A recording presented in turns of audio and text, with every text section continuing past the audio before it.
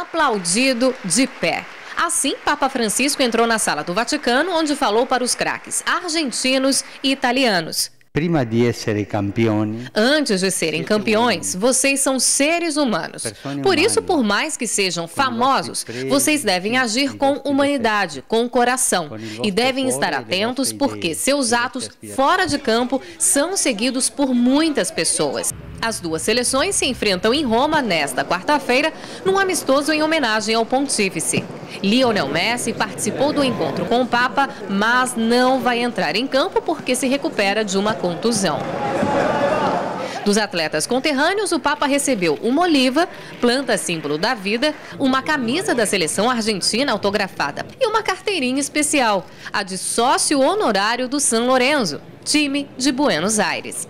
A paixão do Papa pelo São Lourenço e pelo futebol é antiga, herança do pai, italiano, que ao chegar à Argentina adotou o clube. Dois países e uma dúvida. Veramente será um pouco Não sei para quem torcer, disse o Papa, que ainda completou. Por sorte, todos são amigos.